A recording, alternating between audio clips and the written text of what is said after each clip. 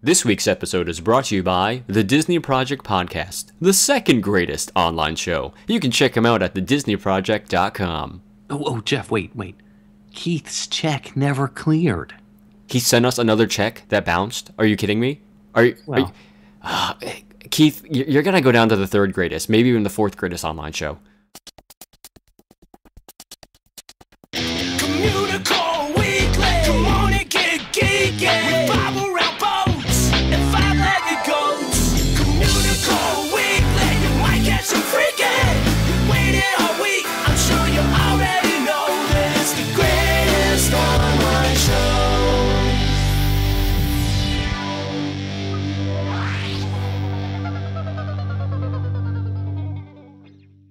Hello and welcome to Communicore Weekly. I'm George. And I'm Jeff. George, you didn't say we were the greatest online show. You always say that. Well, I was going to wait for you to come in and say it this time. Figured give the listeners a break. Their Oh. ears were probably getting tired. Oh, I'm sorry. Let, let's let's do it again. Go ahead and go go.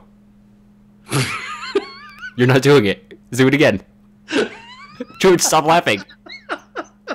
What are you doing? I'm still recording. Just do it. Just do it.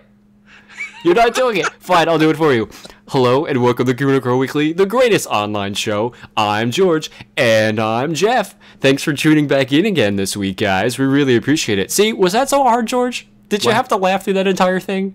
Not at all. It must have been the the uh, the freshly squeezed Florida orange juice. Must have had something in it. Ah, forget it. Let's just start the show.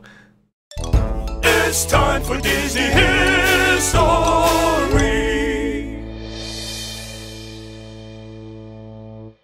Main Street USA is the first theme land that you encounter after the main entrance of the many Disneyland style parks around the world. Now, each Main Street USA, with the exception of Tokyo Disneyland, has a train station right above the entrance. And at Disneyland, Disneyland Paris, Hong Kong Disneyland, uh, Sleeping Beauty Castle stands in the distance just beyond the end of the street, while at the Magic Kingdom and Tokyo Disneyland, Cinderella Castle stands at the end of the street.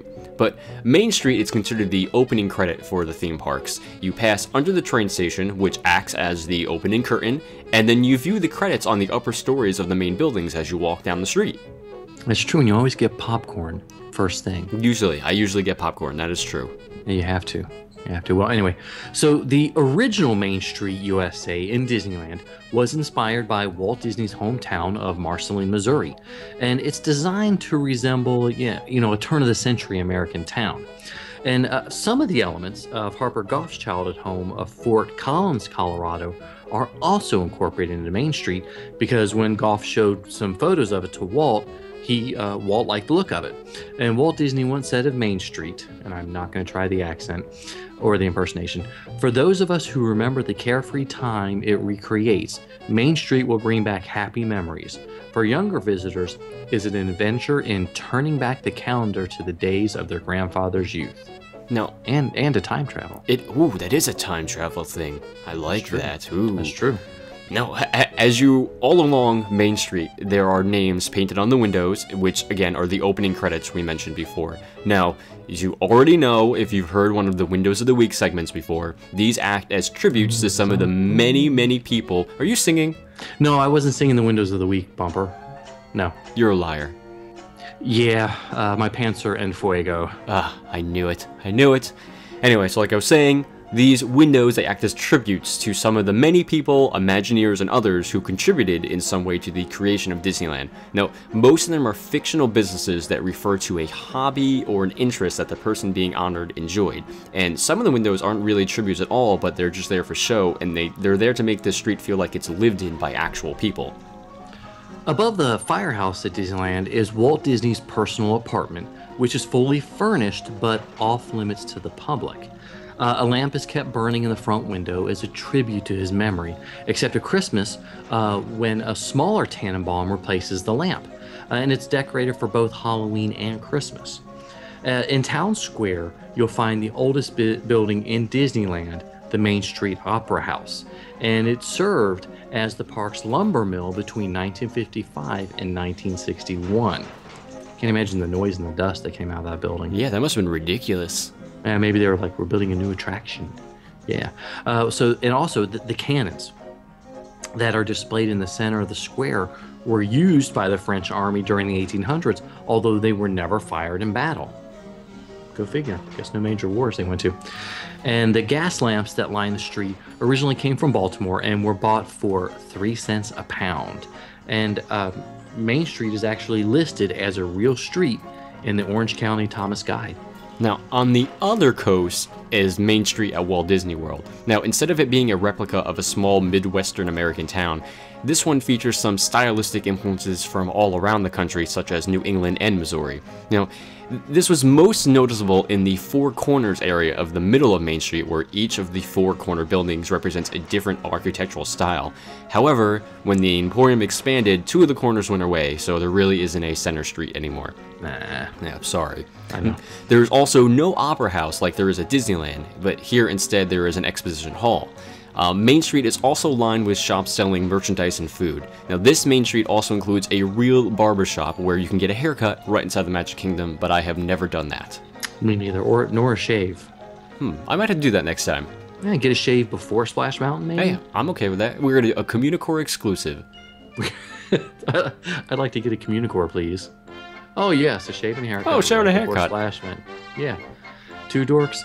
So the uh, second stories of all the buildings along Main Street are shorter than the first stories, and the third stories are even shorter than the second. And the resulting visual effect is that the buildings appear to be larger and taller than they really are. And the technique is also used at Disneyland, and it gives the castle a much larger look, even though it's only 189 feet tall. Of course, Cinderella's castle at Walt Disney World. Yes, yes. Now, the World Bazaar is the alternative of Main Street USA at Tokyo Disneyland, and it's covered by a glass Victorian-style conservatory roof to shield the guests from the Japanese weather. Now, amongst others, World Bazaar features a 1950s American diner. Uh, it also features the most eateries out of all the main streets, with three table service restaurants and four if you include Club 33. Um, and there's also a larger side street called Center Street that runs directly across Main Street, which exits onto either side into Tomorrowland or Adventureland. Now, this is the only Main Street that does not have a train station. So, Disneyland Paris has a street that's themed slightly different from the others. The decor is more 1920s than turn of the century, uh, though the buildings are almost identical to those in Florida, with influences from the flapper and ragtime eras and an emphasis on baseball culture and the rise of the automobile. And instead of horse drawn trolleys and Victorian vehicles, plans originally featured trams to fit with the 1920s theme, but they were scrapped. And also, due to the really cold and rainy weather in the area, there are covered walkways on either side of Main Street called arcades. There's the Discovery Arcade on the side that's closest to Discoveryland, and then there's Liberty Arcade on the side that's closest to Frontierland. Now, these provide access to all the shops along the length of Main Street, and they also give shelter from the weather itself. Now, they're also they provide a passageway when the street is really crowded during parades and fireworks. Now, the last one we're going to talk about is Hong Kong Disneyland, and that was inspired by the main street in Disneyland itself. The buildings there are almost identical to the ones that you can find in Anaheim. And that the plans originally featured a restaurant under the Hong Kong Disneyland Railroad Station, but they were scrapped at the last minute due to budget reasons. And the decor uh, is 20th century small town America from about the years 1890 to 1910. And, and though it's very, it's very similar to Anaheim's Main Street, the story of this street is heavily influenced by European immigrants. Uh, Plaza Inn, it has the same exterior design as the one in Anaheim, but its theme is about a wealthy American couple who traveled to China, fell in love with its culture and cuisine, and returned to create a classical Chinese eatery filled with all the decorations they collected on their journeys. And, the Market House Bakery was founded by a Viennese pastry chef who brought some of the world's most famous desserts and coffee cakes from the Austrian imperial court. Now, instead of using stone as the major building material uh, like the other main streets, Main Street at Hong Kong Disneyland were built mainly out of wood, which is really rare in Hong Kong. Now, there are also no horse-drawn streetcars. Uh, I'm sorry, streetcars, and there is no partner statue in the street. Although there are tracks for streetcars that can be seen in early conceptual art. Now, my favorite Main Street, I think I'm gonna have to go with Disneyland now. Do you have a favorite one, George? Well, I mean, you know, the first love has to be the one at the Magic Kingdom just because of the scale and the size. And, you know, living on the East Coast, I like the Eastern Seaboard, but Seaboard, but I'm I'm completely captivated by the World Bazaar and the idea of it. But I really want to visit the arcades at Disneyland Paris. I think somebody should send us on trips there. I think so too. A Communicore funded, uh, Communicore trip funded by our lovely listeners. Yeah, Maybe? let's let's do that. Or or Keith, so we can pay for the the ad at the beginning of Keith, the yes, show. yes. If, All right, if all right, his- Keith. if We'll talk about that later then. Checks would stop bouncing. Exactly. He's a nerd, he's a geek, but we all like to hear him speak. So listen up to the words from his speech. It's George's book of the week. When you've got a huge library like I do, yes, and it's over 800 books, and no, I'm not bragging, but um, Humble brag. That was a humble lot of- brag. That was a very humble brag. Yes, it was. You run across a lot of different books, and the track record for works of fiction that deal with a Disney park aren't that great. Um, you've got the Kingdom Keeper series, which is eh, it's okay. You know, it's I've enjoyed them, but I've had some problems with it. Uh, you've had the Peter and the Starcatchers, which doesn't start at Disney and is awesome, and then ends at Disney, which gets weird. Uh, and there's been a few other books that I've read and reviewed with it, it just quite doesn't quite there it misses the mark. Um, well jeff and i both received review copies of disneylanders by kate abbott. It's 185 pages and it was just published. And this book is is it's it's a young adult it's a teen book but you know we're both grown men. We figured we could you know tear into it see what it's like. And um, I'll be honest with you. I really, really, really like this book. I, I enjoyed it. I think And I it's funny when we, we first started talking about it, like, with, you know, I think we were both kind of like close to the end of it, and we were both dancing around the subject, and then we were both, we acted like giddy teenage girls who when we both revealed to each other that we did enjoy the book a lot. what, what I think is great about it is is Kate um, presents a story of a young girl who's making the transition from eighth to ninth grade because we've all been there, and um, she's on her annual family trip with her family down to Disneyland. So that's the focus of the book, but it's not the reason for the book, and that's probably the strength. Is almost everything else you read that ties in any Disney theme park, they go after the theme park as being some sort of mythical you know there's a quest or there's some you know walt disney's frozen you find him dripping and you've got to revive him but this is just a story about a young girl who's trying to find herself yeah, it's it's not a And- character in this book; it's the setting, and I think Kate. Mm-hmm. Kate knows the park really well. I, it's fairly obvious in the book Yes. that how well she knows the park, and I mean, using it as the setting doesn't hinder the story at all. It enhances the story, um, and I think it makes for a, a very excellent backdrop for the, the story of of young love, essentially. yeah and i think we both talked about at the beginning it's sort of like you know we you know had our uh, geek glasses on and we're like okay you know let's let's make sure everything's right and i'll be darned i mean uh, she had her facts down and it's not a, it's not a current day it's back about 10 years and it was fairly historically accurate um, for the details of disneyland. So it was very impressive. Well done kate. She did a good job with researching it. Obviously she's a huge disney geek which is great. But but the story you know we mentioned you you follow this young girl. She's having she's at her favorite place in the world with her parents getting ready to go to high school. She's worried about how she looks who she is what she's going to do. Um, worried about her parents embarrassing her and then she meets a boy so it's sort of like a girl goes to disneyland meets boy and then lots of stuff happens You know, the the way you're making it this, this like sound, I'm sure some of our core, our core audience is like, I'm not gonna like this book because you know it's not targeted at you. I'm telling you, I enjoyed this book. Now, mm-hmm. granted, I like a lot of you know girly things. I'm not gonna lie. Martina tells me that all the time.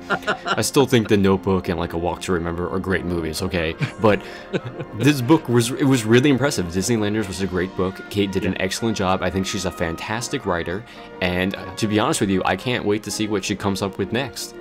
Oh, agreed, agreed. So I guess what we're saying is, you know, give this book a chance. It it may, may you may not fit the target audience, but if you love Disney theme parks, you're going to enjoy the background and the setting. And and she tells a great tale, and she's got great characters with really well done dialogue. You know, um, like I said, I think this is one that that people are going to enjoy. And finally, we get fiction within a Disney theme park that really works and works well. Yeah, two thumbs up for Kate. Yes, two thumbs up for Kate. So this one is The Disneylanders by Kate Abbott.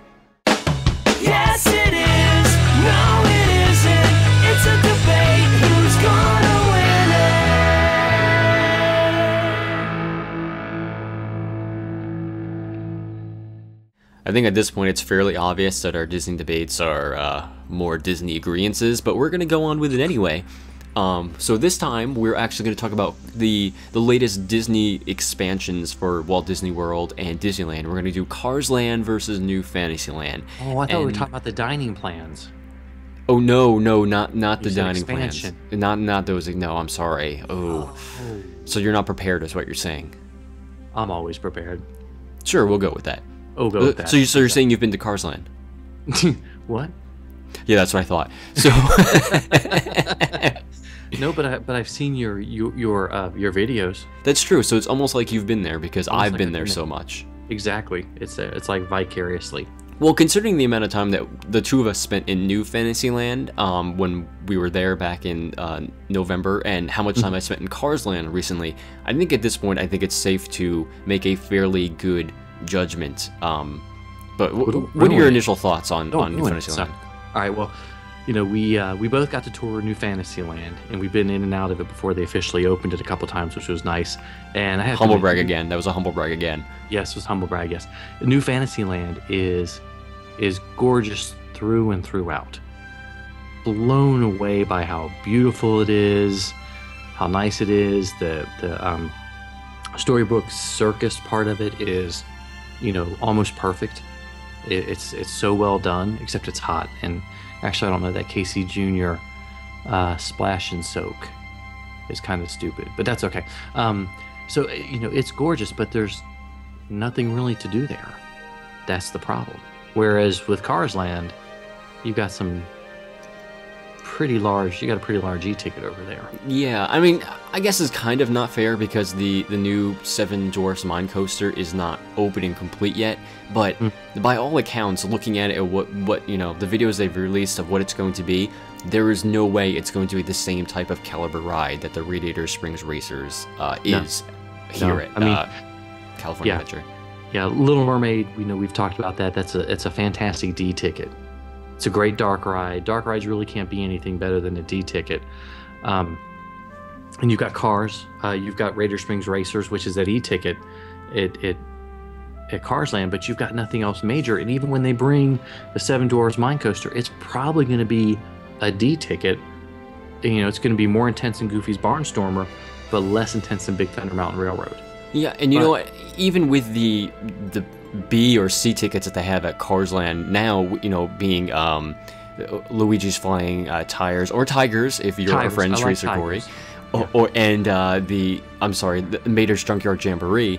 I mean, those are great little attractions, side attractions. They're not major ones, obviously. They're not e-tickets, but they still Mm-hmm. add a lot to the atmosphere of the land itself. But the main draw is the Radiator Springs Racers, and I think that alone, on its own, kicks New Fantasyland to the curb. Yeah. Now, now, when we talk about e-ticket attractions, you know, you can look at it another way too. You know, the Imagineers and the people that plan Walt Disney World. You know, as much as we might like to uh, call them not so smart, you know, they built one of you know Walt Disney World's largest restaurants with the expansion. You know, food is a huge part of a Walt Disney World vacation. You know, uh, so you've got the Be Our Guest restaurant. You know, the first eatery that doubles you know, does, you know, counter service or quick service for lunch and then, you know, full sit down for dinner. And it's not to take away from the restaurant. It's a great restaurant. It's gorgeous. The food is great. There's a lot of great atmosphere, but it, you know, it's not the. You can't have a restaurant be the main attraction of a new expansion. exactly exactly, exactly. You know, because we were talking, you know, before the segment, going, well, yeah, what about the restaurants? You know, so the Fantasyland does have more eateries, but by like one. So, I think by one, if that. I Maybe they might one. even be even at this point. I don't know. Maybe I'm counting incorrectly, but um, well, it depends on how many of the little food carts. yeah, we can count the food carts if you want to. Uh, Flo's know. Super 8 Cafe is, you know, I ate there a couple weeks ago and it was fantastic. Um, I, it was probably one of the best quick service meals I've ever had at a Disney theme park. So Wow. I, I, I was really impressed. I was I was really impressed. So what, what are you gonna give it to? Well, I think we've got to go with Cars Land. Even though I haven't been there, you know, I've, I've lived vicariously, I've seen it. It it's it seems like it was just done with a a, a better end point, and you know, it, it- the Imagineers were given a ton of money to do the new Fantasyland redo, but there's nothing there that's really drawing people at this point in time. Whereas you've got people traveling across the country to visit Cars Land, and right. that's the purpose of it. So we're gonna You know? chalk it up for, for Disneyland. Disneyland Yeah. wins this one. Yeah, don't tell Keith. All right, we'll, we'll keep this one a secret from him. Yeah, we'll have to. Sometimes you might see it, sometimes you don't. Hey, look, what's that? It's a five-legged goat. Now we've covered the largest hidden Mickey at Walt Disney World before, but did you know where the largest footprint in a Disney park is? And I mean quite literally the largest footprint, like an actual footprint. Now, you're gonna be surprised, but here it is. It's at the Jungle Cruise at Disneyland. No, I know you were surprised. Wait, I that was was a good to- surprise voice, George. I'm, I'm very Well, I proud was of trying to do sound effects. Yeah, you've been practicing. Good been job, George. You get a I've been cookie when we're done. good boy. Good boy. Anyway, so while doing the layout of the Jungle Cruise, Harper Goff used a actual sandbox to finalize the details of the attraction itself and to try to figure out the size for footprint of the ride. Now, Harper used his actual footprint to sculpt the sand into the shape of the river and its banks, therefore making it the largest actual footprint in a Disney theme park. Well, thanks so much for watching, listening, and absorbing the show. And don't forget, there's still time to enter the Communicore Weekly Blu-ray Bonanza giveaway. Just go to communicoreweekly.com to get the details. That's right, and be sure to leave us a comment or rate us on iTunes, and there you go, enter into the contest. Exactly. And don't forget to email us at communicoreweekly at gmail.com if you want to remind us that you entered the contest or to send us awesome photos. Yes, we love photos. We love photos, exactly. You can also like us on Facebook at facebook.com slash communicoreweekly. Mm-hmm. Or follow us both on Twitter. I'm at Imaginerding and he's at Jeff Heimbuch. And for Jeff Heimbuch, I'm George Taylor. And for George Taylor, I'm Jeff Heimbuch. Thanks so much for listening. We'll see you next time on Communicore Weekly, the greatest online show. And see, George, it's not so hard to say the greatest online show. That's the line.